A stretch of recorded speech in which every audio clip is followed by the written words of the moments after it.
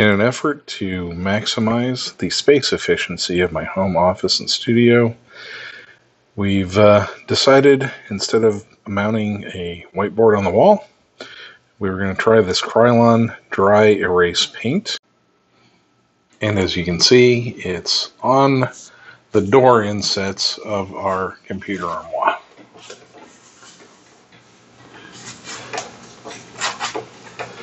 Simple wipe down.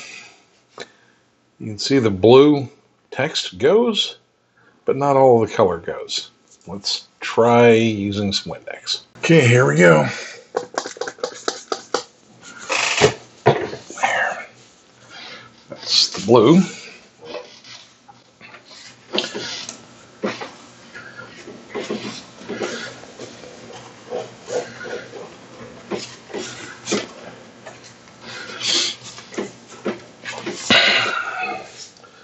Well, there it is, folks. That's how well the Krylon dry erase paint works. Not well at all. So we're going to try this again. Um, part of the problem may have been that I didn't wait for this one to fully cure before I tested it.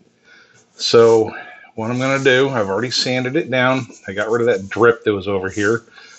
We're going to give it another coat and then we're going to wait at least 72 hours before I try writing on it. Let's see how that works. While we wait for the other side to dry, let's uh, give it a try on the outside. I painted all four of the insets, so you can see I've got some drips here, but I don't care too much about that.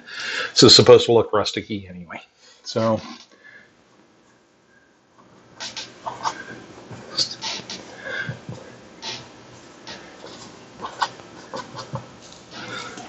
We're going to test how well this erases.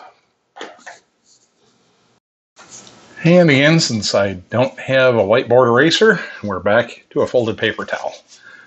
So let's get after it.